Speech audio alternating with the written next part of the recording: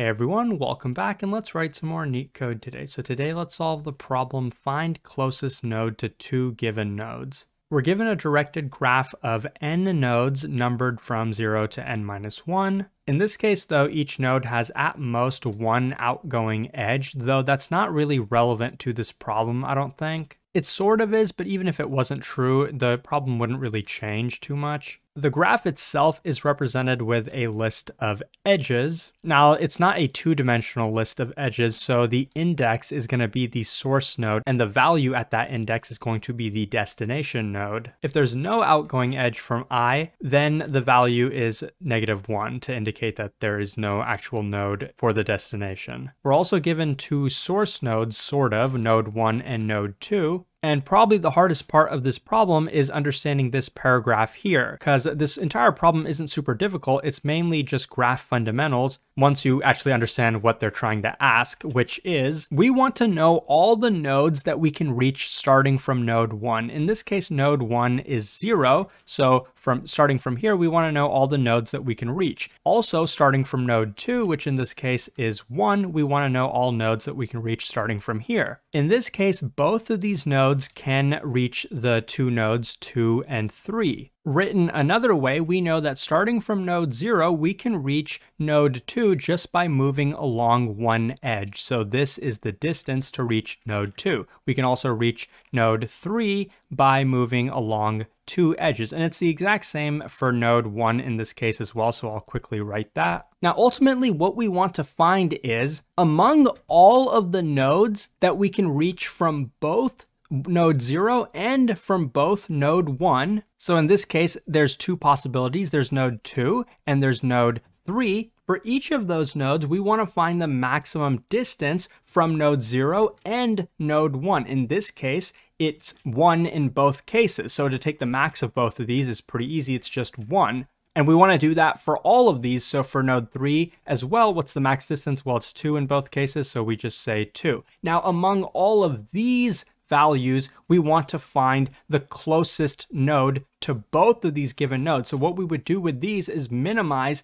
this array of values. Of course, the minimum in this case is 1, and what we want to return is not 1 itself, because this is the distance. We want to return the actual node that is the closest to both of these, and that node is 2. We added it to both of these. So at a high level, that's pretty much the problem. So if you were confused what it was asking, that's what they mean. When they say such that the maximum between the distance from node 1 to that node and from node 2 to that node is minimized, that's what they mean. They mean taking the maximum of these two values and doing that for every single node and then minimizing the actual distances. And if no possible answer exists, we would return negative 1. And when exactly would that occur? Well, if possibly node 0 can only reach node 3 and maybe node 1 can only reach node 2, then neither of these two nodes can reach the same node, so we can't really do anything. We can't do the minimum and maximums that we were doing previously, so our result would just be a default value of negative 1. So that's what we're trying to do. How exactly can we do it? Well, one, the way I'm writing this, it kind of implies that we would probably want to use a hash map for node 0 and for node 1, we want to map every node to the distance it is away from both node 0 and node 1. So we're going to have two hash maps. And to actually find these distances, we'll just run a basic graph algorithm. We could do either DFS or BFS. And the reason they would be pretty much identical in this case is because each node has at most one outgoing edge. So BFS would pretty much run just like DFS in this case. So you can pick your poison. I'm going to go with BFS and we'll have to run it twice to build this hash map and this hash map. So you could say the overall time complexity, we know BFS takes big O of n to run over a graph. We'll have to do it twice. So we say two times n, but that reduces to big O of n. And to actually build these hash maps, it's going to take big O of n memory as well. So now let's code it up. So since we're going to run a graph traversal, the first thing we probably want to do is create a adjacency list. Since we're just given a list of edges, we'll have to build that ourselves. So I'm going to create a hash map, which in Python you can do like this, default dict. And we're going to be mapping every source node to the list of nodes that it can reach. So we're going to go through every node in our edges. So in Python, an easy way to do that is enumerating the list of edges. So we'll get the index and the value at that index, which I should probably call something else. I'll call it destination. So then we're going to say that for this source node i, we're going to append to its adjacency list the destination node. So it can reach that destination node. And then we know we're going to run BFS, but I'm not going to quite define the entire function just yet. We know that we want to create two hash maps for the distance, mapping every node in the graph to the distance it is away from node 1, and we want to do the exact same thing for node 2. So I'm just going to rename this. And then we want to actually run our BFS. We want to start from node 1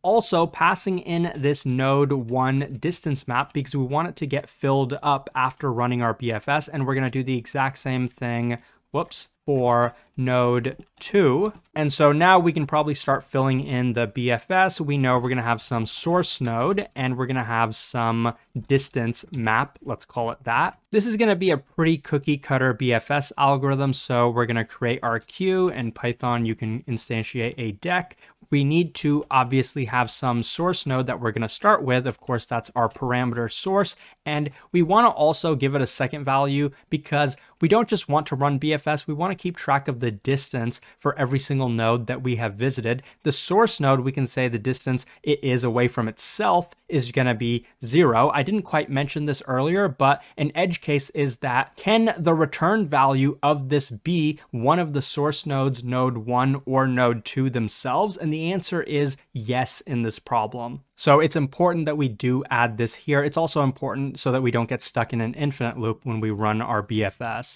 Next, we're just going to continue iterating while our queue is non-empty. So we're gonna queue.pop left. And when we pop, we pop a node and we pop the distance that that node is away from the source. And then for that node, we wanna go through all of its neighbors. So for every neighbor in the adjacency list, of the node that we just popped. We then want to take this neighbor and append it to the queue and the distance that this new neighbor will be is the distance of the node that we just popped plus one, of course, because we're just, you know, traversing along another edge. So distance plus one. And while we're at it, we might as well fill in the distance of that node. So we can say for this neighbor, the distance is distance plus one. But remember, we don't want to get stuck in an infinite loop. So we're only going to do this for every single neighbor that has not already been visited yet. How do we know if a node has already been visited? If it's been added to the distance map, this distance map kind of serves two purposes to actually map the distance for every node and to make sure that every node has been visited. So if neighbor is not in distance map, then only then do we actually execute this. Which reminds me, when we append this source to the queue, we should probably also add its distance to the queue, which is just going to be zero. Well, not to the queue, to the uh, distance hash map. Once we have that done, it's a pretty straightforward algorithm if you can, you know, figure out what the problem is asking. We know that the result should initially have a default value of negative one because that's supposed to be the default value. And we also want to keep track of what the result distance is because we only want to update the result. Remember, the result is the node itself, not the distance. We're not returning the minimum distance. We're returning the node that has the minimum distance.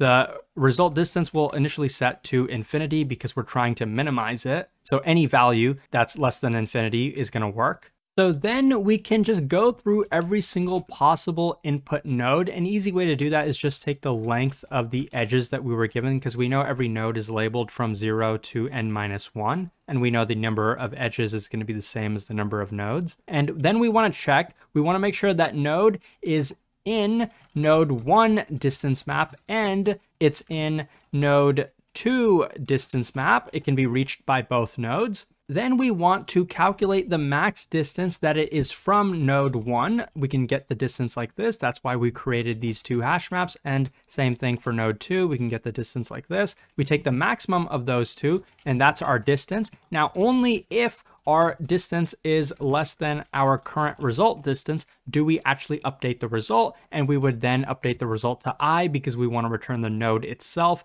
not the distance, but we do have to update the result distance just like this. And then finally, we can go ahead and return our result. Before I run this to make sure it works, I want to quickly mention that here up above, the way we created our adjacency list, we know that some of the destination nodes could have been negative one, and we added those to the adjacency list. And we also traversed them over here and so in some cases, we would have added a negative one as the key of our distance maps. But since the way we traversed the nodes here, we only made sure to traverse from zero to n minus one, we will basically ignore those. And it doesn't really change the overall time complexity either. Actually, I just noticed a typo here. This should be result distance, not result dest. So now let's run this to make sure that it works. And as you can see, yes, it does, and it's pretty efficient. If you're preparing for coding interviews, check out neetcode.io. It has a ton of free resources to help you prepare. If this was helpful, please like and subscribe. Thanks for watching, and hopefully I'll see you pretty soon.